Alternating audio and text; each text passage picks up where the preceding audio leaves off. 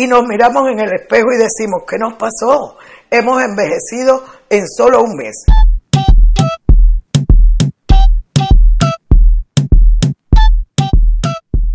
Hola, soy la doctora Marisabel Romero Lanusa, trabajo en Derma Pacific. Durante los periodos de estrés, y principalmente este que estamos pasando, no solo nacional, sino mundialmente, aparecen lesiones en nuestra piel. Si tenemos estrés, va a haber una hiperproducción de histamina. La histamina es una sustancia en la cual pacientes con antecedentes alérgicos o no hacen la aparición en nuestra piel de lesiones enrojecidas, lesiones urticariformes o de roncha, lesiones escamosas, hiperproducción de sebo. ¿Cuáles son las enfermedades cutáneas que más aparecen en estos casos?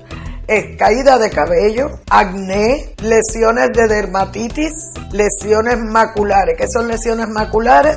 Lesiones redondeadas, pueden ser eritematosas, pueden ser escamosas o solamente una picazón en nuestro cuerpo que se manifiesta con ese repetido del rascado. También les quiero comentar cómo repercute el cortisol en nuestra piel. Y el cortisol se eleva en este mismo periodo que estamos hablando por el estrés. No solo la histamina, sino también el cortisol. El cortisol a nivel celular hace que disminuyan o se deterioren nuestras fibras elásticas y de colágeno que nos da la juventud, la tersura de nuestra piel.